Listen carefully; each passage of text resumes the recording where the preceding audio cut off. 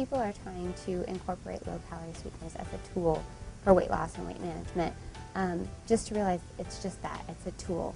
And if, uh, if that's the only thing you're doing, you might not experience weight loss successfully, for one. And also, if you really enjoy something and you completely replace it with a low-calorie sweetener, and that takes out the enjoyment, eventually you're going to crave what it was that you restricted, whatever that is. And that is the same whether we're talking about a low-calorie sweetener or if we're talking about something that's really high fat or anything else that people restrict from their diets.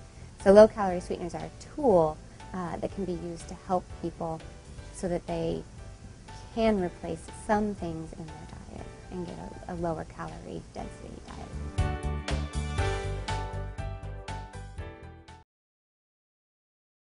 Practical uh, approaches for gradual weight loss, and by gradual weight loss, um, you're looking at one to two pounds a week, um, or even less than that possibly.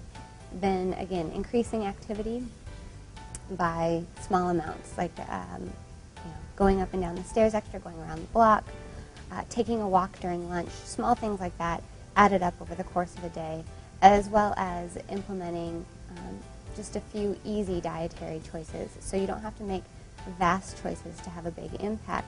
You can change out a beverage, um, either a regular beverage for a diet or a beverage for water.